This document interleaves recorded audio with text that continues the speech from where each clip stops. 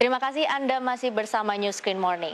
Pemirsa, di tengah melambungnya harga batu bara ke level 75 dolar per metrik ton, Kementerian ESDM belum memprioritaskan peningkatan produksi untuk mendorong kinerja ekspor. Kementerian lebih memprioritaskan kebutuhan dalam negeri, baik untuk kebutuhan listrik ataupun industri.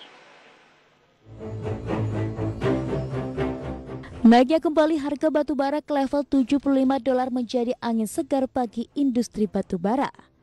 Beberapa pihak mendorong adanya peningkatan produksi untuk meningkatkan ekspor batu bara. Meski demikian, Kementerian SDM memastikan masih akan mengevaluasi hal tersebut.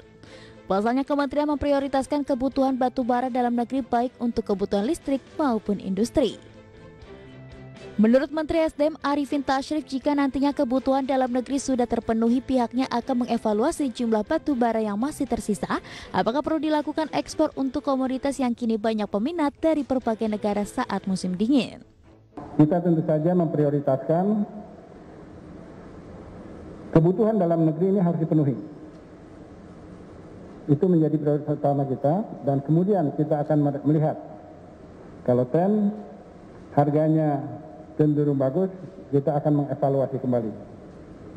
Ya, harga internasional bagus, kita akan mengevaluasi kembali. Harga batu bara sebelumnya di 2020 mengalami penurunan tajam hingga 50 dolar per metrik ton. Peningkatan mulai terjadi hingga mencapai level 75 dolar Amerika per metrik ton setelah adanya peningkatan permintaan memasuki musim dingin dan aktivitas ekonomi yang mulai berjalan di China sebagai negara tujuan ekspor terbesar batu bara Indonesia. Dari Jakarta, Muhammad Tolga, IDX Channel.